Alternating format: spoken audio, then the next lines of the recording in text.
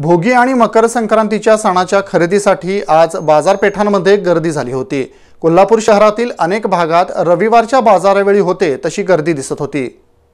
भारतीय संस्कृतीमधील प्रत्येक सण उत्सवाला धार्मिकतेच्या पलीकडं इथल्या निसर्ग चक्राशी जुळवून घेण्याच्या जीवन पद्धतीचा मोठा आधार आहे.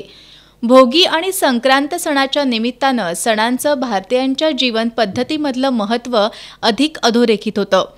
थंडीच्या दिवसामध्ये शरीराला पोषक ठरेल असा आहार कसा असावा याचा संदेश देणारा भोगीचा सण.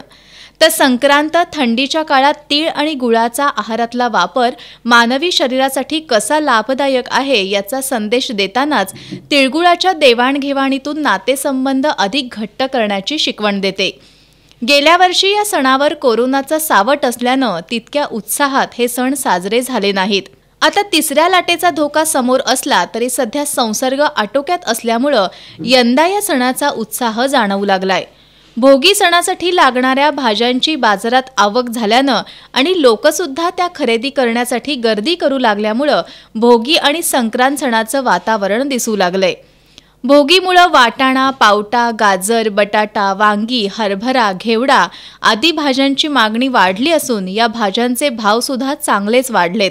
संक्रांत सणाच्या निमित्तानं नवविवाहितेला ओसा म्हणून दिल्या जाणाऱ्या वस्तूंच्या खरेदीलाही ग्राहक खास करून महिला वर्ग पसंती देताना दिसतोय. आज तिळगुळाची सुद्धा चांगली विक्री झाल्याचं दिसून आलं.